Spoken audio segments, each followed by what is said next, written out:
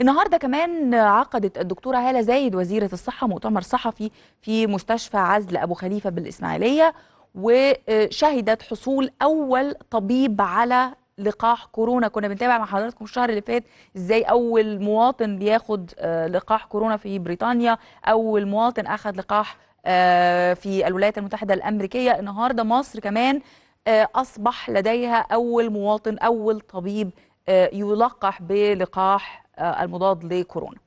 أعلنت وزيرة الصحة في هذا المؤتمر الصحفي أنه خلال أسابيع هيتم توقيع عقود شراكة للشركة القابضة للمستحضرات الحيوية واللقاحات فاكسيرا لبدء إنتاج لقاح كورونا مع توفير 100 مليون جرعة للتطعيمات لمختلف طوائف الشعب لكن بيتم البدء بخط الدفاع الأول للأطقم الطبية في مواجهة كورونا سواء العاملين بالوزارة أو أي مستشفيات حكومية أو آه، تابعة للشرطة أو القوات المسلحة.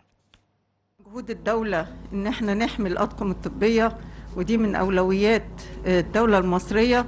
وإمبارح آه، سيادة الرئيس آه، أعلن عن بدء تطعيم الأطقم الطبية. حابة أقول في هذا المجال إن في أولويات في العالم كله وإحنا ماشيين مع العالم في هذه الأولويات. هي أول حاجة خط الدفاع الأول من الأطقم الطبية. إحنا طبعا عارفين إن كل الاطقم الطبيه بت بتقابل المرضى لكن في أطقم طبية بتقابل مرضى الكورونا فدول لهم أولوية.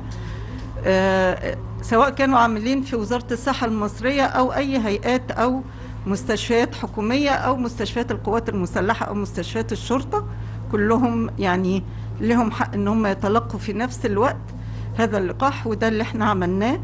وإن شاء الله آه، ابتداء من الغد. كل مستشفيات مصر ال- الحكومية واللي تابعة للقوات المسلحة والشرطة المصرية هتبدأ تاخد هذه اللقاحات.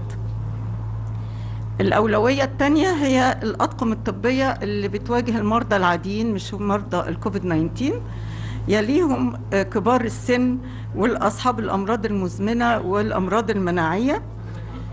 والفئة الرابعة هي الناس المواطنين من أول سن 45 سنة من أصحاب الأمراض المزمنة والأولوية الخامسة باقي جميع آه، الشعب. طبعا هذه اللقاحات تم تجربتها فوق سن 18 سنة ولكن في حالة إقرارها لدون سن 18 سنة أو السيدات الحوامل هتكون برضو من أولويات التلقيح.